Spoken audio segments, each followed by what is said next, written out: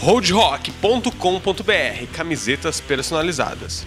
E aí galeras, beleza? Começa agora nossos mãos, nosso resumo diário de informações sobre videogames aqui do Game Over. E ontem deu um probleminha no áudio, né? Você viu que o áudio tava meio esquisito, o que aconteceu? Eu não sei, eu tava com o microfone de lapela aqui, mas não tava pegando, tava pegando da câmera. Como eu tava ontem bem perto da câmera, daí ficou bom. Quer dizer, meia boca, né? Senão teria ficado pior. Na verdade não tava tão ruim, mas parece que piorou. Lembro desse vídeo. Seguinte, vamos começar falando o quê? No Man's Sky. Cadê No Man's Sky ali, ó? Tá vendo aqui, ó? No Man's Sky, chegado. Só que teve um cara que resolveu dar volta ao mundo No Man's Sky. Qual mundo? Sei lá, o mundo que ele saiu. Ele falou assim, ah, será que esse universo é grande mesmo? Será que a Terra é redonda? Será que acontece alguma coisa se eu dar a volta no mundo? Quanto tempo demora? Daí ele deu a volta ao mundo e demorou aproximadamente 45 horas. Puxa vida, não era um mundo do tamanho do nosso mundo, né? Mas era um negócio grande, em 45 horas andando, não andando, acho que correndo, voando e pulando. Cara, foi uma experiência diferente. Vou deixar o link na descrição se você quiser acompanhar ali. Ele fez não uns 45 horas direto, né? O que, se for pensar, não dá pra provar que ele conseguiu dar a volta ao mundo. Mas na última hora lá ele mostrou ele chegando no seu ponto inicial. Seguinte, filmes, filmes de videogame. Sempre a gente tá falando de filme de videogame. Ontem eu falei do filme do. do. Como que é? Monster Hunter. É, vão lançar um filme do Monster Hunter e. não sei quando, né? Mas no começo do ano que vem vai ter dois filmes do Resident Evil. Dá uma olhada na imagem desse filme aí. Esse já tinha sido anunciado antes, que é o The Final Chapter. E em 2017, né? E também foi anunciado que o filme Vendetta do Resident Evil vai ser estreado aí no início de 2017, apenas no Japão. Não sei quando que vai chegar aqui pro Ocidente. Lembrando que ano que vem também tem Resident Evil 7, o lançamento do jogo mesmo. Então, ano que vem vai ser um ano, digamos que importante para a série de Resident Evil. E Yakuza 6, tá esperando? Lembrando que ele vai ser lançado principalmente no Japão, né? Não sei, porque é um jogo já bem japonês, né? O Yakuza 6. Daí foi lançado esse trailer, ó. Esse trailer mostra algumas coisas que você pode fazer no Yakuza 6. Você já sabe, né, que é um jogo meio que mundo aberto, que nem GTA, mas aqui tem umas coisas diferentes que você pode fazer, incluindo brincar com gatinhos, né? É uma coisa que é bem febre na internet. Também jogar beisebol. Tem alguns jogos dentro aqui desse Yakuza 6, um jogo inteiro de beisebol mesmo, uma pesca subaquática. O que é pesca subaquática? Pescar não é sempre subaquático, não tem que ser debaixo d'água, sim, mas você não precisa estar embaixo d'água, né? Mas uma pesca subaquática você mergulha e pesca o que estiver lá embaixo. Também conversa com garotas que acabam ali interagindo com você. Tem alguns minigames também. Você vai poder ficar bebendo no bar, cuidando de bebês e mais um monte de coisa diferente. É, diferente, é estranho você falar que no Yakuza você vai cuidar de bebês, mas sim, cara. Esse jogo então vai ser lançado no dia 8 de dezembro no Japão e quando for lançado no Ocidente, a gente avisa vocês também. E o Battlefield 4? Tá jogando Battlefield 4? Você não tem as expansões? Ha! Tem uma notícia muito boa para vocês, as expansões são de graça. Como assim? É, cara, até do dia 19 de setembro. Então, você está assistindo esse vídeo até o dia 19 de setembro, você pode baixar tudo de graça e vão ficar para sempre essas expansões para você. Olha que legal, não vai durar só até dia 19 de setembro, você pode baixar até dia 19 de setembro. Lembrando que daqui a um mês tem o lançamento do Battlefield 1. Haha, esse promete, hein, cara. Primeira Guerra Mundial bombando ali no Battlefield 1. A gente já falou para vocês que o, do, o jogo The Last Guardian, aquele do, do pássaro gigante, do menininho, ele foi adiado. Beleza, dia 7 de dezembro. Pelo menos não lançaram jogado pro próximo ano. Então no final do ano tem um lançamento aí. Eles falam, mas será que o jogo tá pronto mesmo? Cara, tem uma boa prova. Olha essas imagens. Um gameplay feito lá pelo pessoal da DualShockers e eles fizeram dois gameplays aí totalizando 16 minutos. Então se você quiser assistir na íntegra, vou deixar o link aqui na descrição para vocês. E ele mostra que o jogo tá muito bonito, tem muita gente que fala que tá um gráfico de Play 2, né? Mas é um jogo aí que quem jogou Ico, quem jogou ou também aquele grandão lá do, do PlayStation 2, como que é o nome que eu sempre indico, o melhor jogo do PlayStation 2? Shadow of Colossus. Nossa, deu um branco bizarro aqui. Daí é uma boa dica, eu acho que vai ser um bom jogo esse The Last Guardian. E Schoolgirls, já ouviu falar? Dá uma olhada nessas imagens, Schoolgirls Zombie Hunter, que é um exclusivo para PlayStation 4 e é dos mesmos criadores de One Shambara, então vai ser lançado no dia 12 de janeiro, também no Japão. Por que você está falando umas coisas do Japão? Porque agora está rolando a Tokyo Game Show e tem alguns lançamentos que aparecem primeiro no Japão, depois, se der certo, ele vem pro ocidente. Então, nesse jogo aqui, são cinco mulheres muito bem equipadas com uma máquinas com armas de destruição em massa que vão acabar felizmente com os zumbis. E o Batman da Telltale está quase sendo lançado a segunda versão, ou seja, o segundo episódio, né? São sempre lançados em episódios e dessa vez depois de muitos problemas no PC e tal, dessa vez aparece um grupo de terroristas, isso na história do jogo, tá? E fica colocando em xeque algumas coisas da família Wayne. Então, para você não confiar tanto na família Wayne, segundo os terroristas. E esse jogo tem data de lançamento no dia 20 de 9 de 2016 para Xbox One, PlayStation 4 e PC também. E segundo os criadores, dessa vez serão grandes decisões que você vai ter que tomar e vai mudar totalmente o mundo à sua volta. Vamos ver um jogo bonitinho, divertido, simplesinho do PlayStation 4, porque a gente joga, mostra uns jogos gigantescos aqui e esse não tem nada disso. Dá uma olhada nessas imagens. O jogo chama Shu.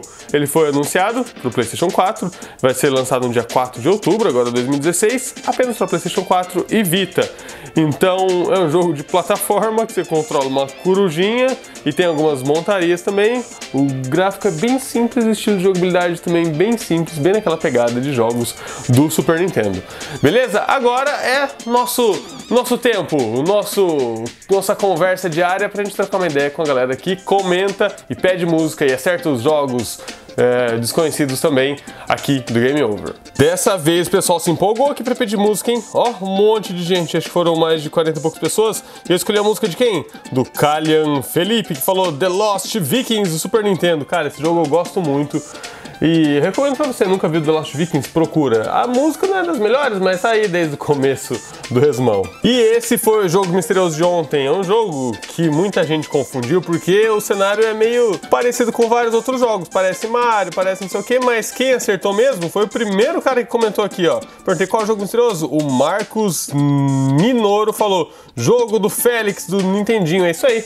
Gato Félix do Nintendinho. Eu não joguei esse jogo na época, mas eu conheci ele um pouco depois. Beleza, e qual que é o jogo de hoje? Dá uma olhada. Esse jogo aí, você sabe qual é? Espera a gente comentar lá no nosso vídeo. Ah, qual que é o jogo misterioso? E comenta pra você aparecer aqui também no nosso querido resumão. O Rover falou, Arthur, faz uma série de gameplays de games clássicos. Sim, cara, nós vamos fazer isso, porque você sabe que a gente gosta muito de jogos antigos, né? Então, Acho que uma vez por semana. Vou escolher um dia na semana que não tem muita coisa e vou colocar então gameplay de jogos antigos. Ó, o Luiz Vieira falou, me zoando aqui, ó. Sério que o Arthur curte rock metal? Com esse cabelo pensei que ele curtia um Frank Aguiar, Fala Mansa e Wesley Safadão. Não, cara, eu tenho cabelo justamente por causa disso. Meu cabelo é bem comprido, tipo aqui, assim, onde vocês nem estão vendo.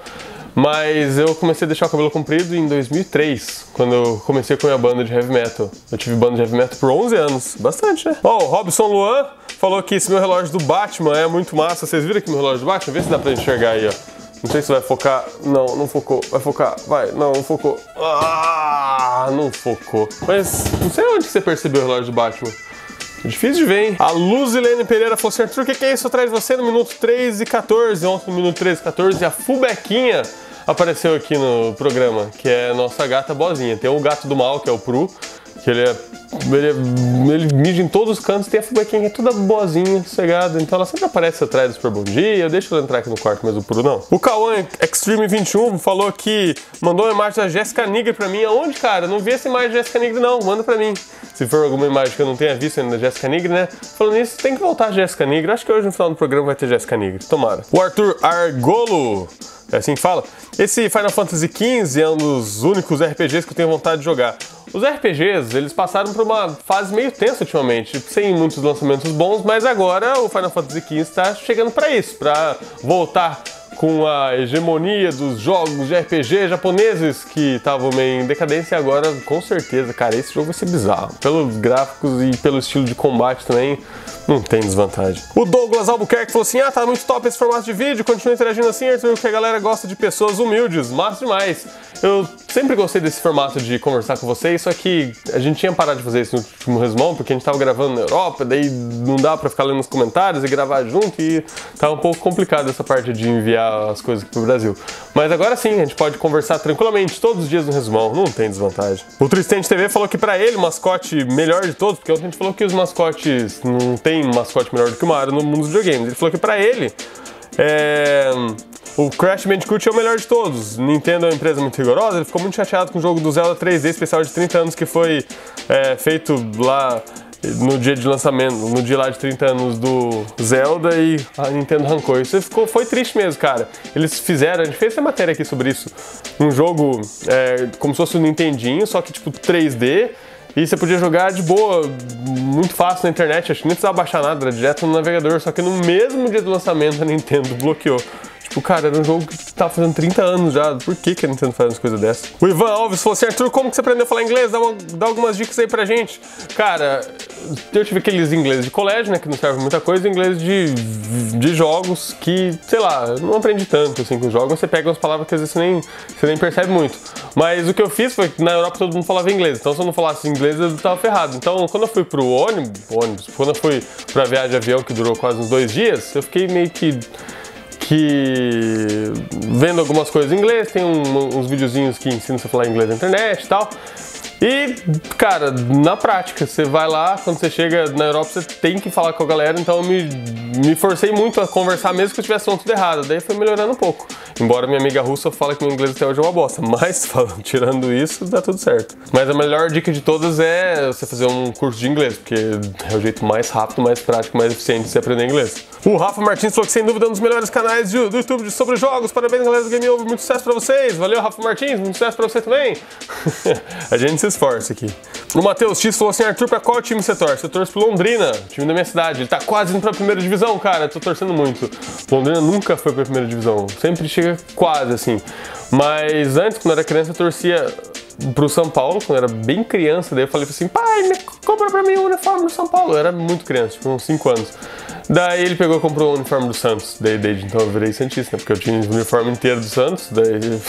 só que eu não gosto muito do Santos, não, porque ele só perdi quando eu era criança. Daí eu comecei a curtir o time da minha cidade, Londrina, e até hoje sou Tubarão.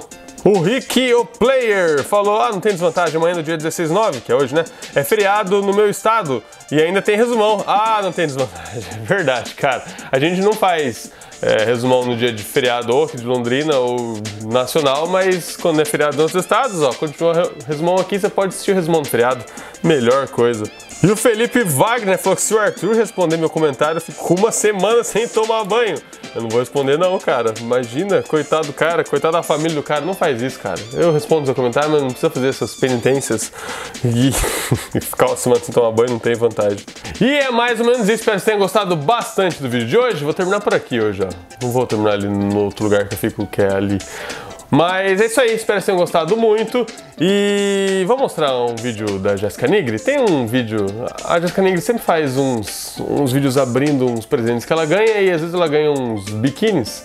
Ela ganhou um biquíni vermelho na semana passada. Vamos dar uma olhada. Isso aí, ó. Não tem desvantagem. Agora eu vou começar a falar devagar. Pra vocês aproveitarem um pouco das imagens da nossa querida musa do Game Over, Jessica Nigri. E eu te encontro quando? Semana que vem. Olha só, semana que vem na segunda-feira tem resumão que a gente está colocando ali próximo das 18 horas, quando dá tempo. Beleza? Então, um abraço, bom final de semana e tchau!